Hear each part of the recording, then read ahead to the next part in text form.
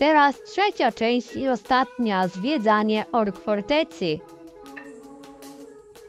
Nie będzie za dużo gadane, bo mi się nie chce. I wam się to nie podoba może, nie wiem, części. Ale dobra. Cała Ork Forteca zwiedzona.